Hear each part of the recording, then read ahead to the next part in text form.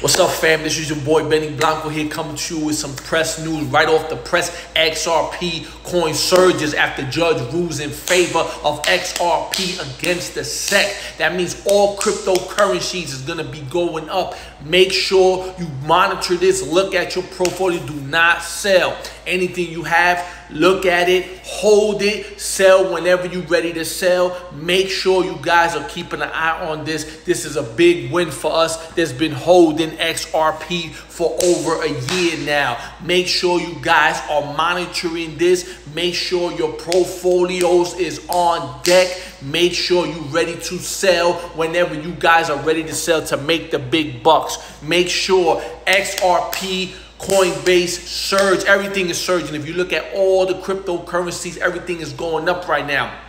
Make sure you guys take profits on the way up. Don't hold it and then once it gets up and crashes again and then you guys lose all your profit. Make sure you guys are taking profits on the way up. Leave a little just in case it goes crazy, but make sure you guys are locking them profits in just in case it comes down. You guys can come back in and buy in on a cheaper note. XRP, everything is going up. Bitcoin, Ethereum, look at all cryptocurrencies. Don't chase though. Do not try and jump in. If you missed it, wait till it cools down and come back down to jump back in. But this right here, it's a big step in the right direction for all cryptocurrencies. Monitor it. Keep looking at what's going on.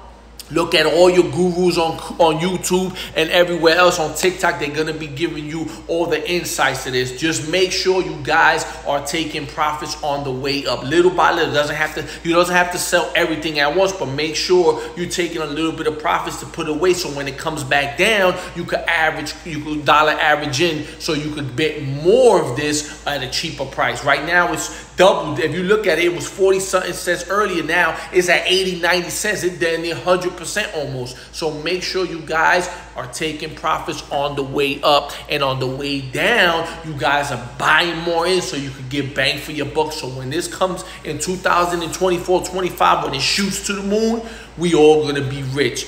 This is boy Benny Blanco giving you the hottest news on the press.